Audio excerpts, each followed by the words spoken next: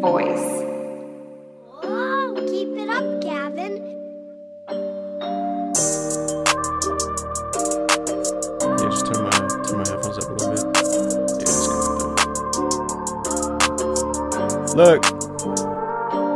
Dear Ramona, it's your favorite. Thought I'd write you this note. Yesterday, when I was working, I remembered your quote. When you told me that you loved me in a letter you wrote, sometimes I don't believe it yet I cherish it most. So how you been? How's the family? Hope all is going well. I'm so thankful for your help when I was going through hell. When everything was wrong, you helped my happiness swell. You always know when I'm off, one of the few that can tell. I cherish all our chats and the wisdom you shared. As I navigate this life, I know that you have always cared.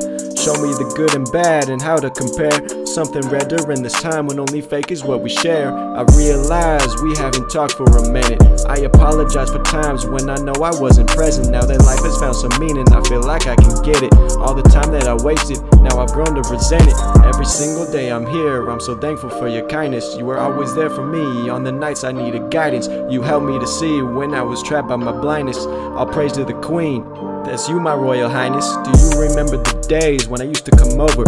I can still smell the cookies and the taste of leftovers. It was my second house, and still I know you always watch over. Maybe I'm writing this, hoping that the storm will blow over. It's a crazy life, and I needed to vent with no one else to turn to. I ran to your fence through the chain link, remembering the memories I spent playing in the sprinklers till my heart was content.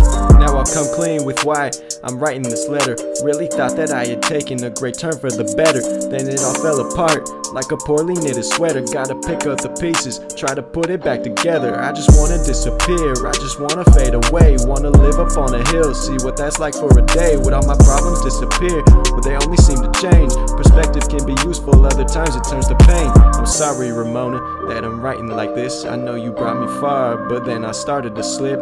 If I got another wish, I would ask for a switch that I could flip to bring the happiness I desperately miss. Sincerely, Cord.